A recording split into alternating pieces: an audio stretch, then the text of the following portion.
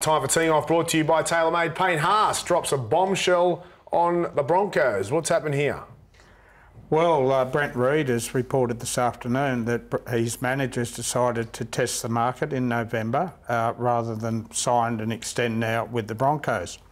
It's interesting because I spoke to this agent myself a couple of months ago, and he was saying Payne's decision won't necessarily be about money, but he, he's desperate to win a title. He want and the Broncos appear to me to be in a window to win a title. They're on top of the competition. Well, that's exactly. That's where I find this story hard to understand. Bizarre. But look, I, I well, his excuse is gone now because he's at a powerful club with a chance to win a premiership. Yeah, look, you know the other thing that's really bizarre. You know the other thing that's really bizarre, Gordy, is that the club, the Sydney club, who is continually linked to him, and they've actually uh, got Sonny Bill now working mm, with the yeah. Bulldogs. I believe that he and and Payne have uh, struck up a strong friendship over the course of the last eighteen months.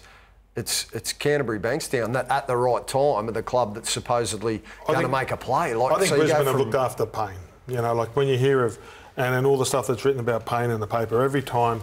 He does this every like ten games, doesn't he? It feels like this has happened a lot lately. This yeah. is actually well, good man. Last year he, he asked, yeah, he asked for a release halfway release. through the year, yeah, so he's actually, you know, he's doing nothing wrong. What his manager wants to do is go to the clubs that have been mentioned, find out what cash is available, go back to the Broncos and say, "Can what you?" What clubs? Um, who's involved? Hoops, the Bulldogs, Roosters, Dragons, Titans. They're the ones we know of. Mm. Canberra Raiders. Yep. Papali'i so he can go, he can go anywhere by the sounds of it. Yeah. yeah. But he's got some big guns. The Bulldogs would he'd be a great buy for them, and you're right. But he wants to win a comp. If he wants to win a comp, how you like at the moment? Canterbury's in a if rebuild. he wants to win a comp, he's staying where he is at the moment because they've got the best thought, chance. I, I, would have thought so. And the Broncos will go to good money. Like he's already on 850, but I'm sure so that they'll be prepared, given how important he is to everything that they're achieving at mm. the moment. I'm sure they'll be prepared to try and match whatever the market value is. Yep, very interesting. Payne Haas, bombshell in Brisbane. Uh, he's asked to go on the open market. What's our thoughts on this? Sometimes I wonder who's advising you. Now, Payne Haas is going to get a million dollars a year or whatever it is. He might get a little bit extra if he goes on the open market. But what about what the Brisbane Broncos have done for him? You know, when he was in, in trouble a couple of years ago, was that a couple of years ago? Mm. When he was in trouble, they stuck by him. I reckon he should show a little bit of loyalty to the Brisbane Broncos. Yeah. He's worth a million dollars. Uh, I'd have him in my side.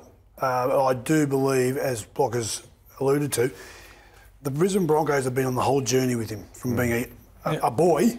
Yeah. They put polish on mm. on him and they've taken him, and the rough diamond has become a, a, a, star. Yeah. And so he does owe the Broncos, and I'm sure the Broncos mm. will remunerate him what he's worth. Mm. But there is definitely a lot of his career is because the Broncos stuck by him. I think it's a bluff. Mate, he got booed at the stadium he last did. time. Yes. Mate, look, when he ran out, so the fans don't like it either. Mm. Well, how do you compare him to Lazo?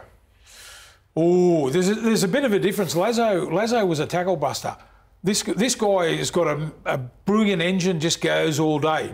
But I, I wouldn't put him in the same club. Yeah. Gordy would be able to no, tell you a bit better. Like Lazo, Lazo could bounce blokes off him and play the ball quick and just mm. just take that much punishment. This guy this guy's got a good engine and goes well, but I don't think he's in Lazo's class yeah, yet. Lazo, Lazo at his age has probably played in green, three grand finals and won mm. two. Okay. Right?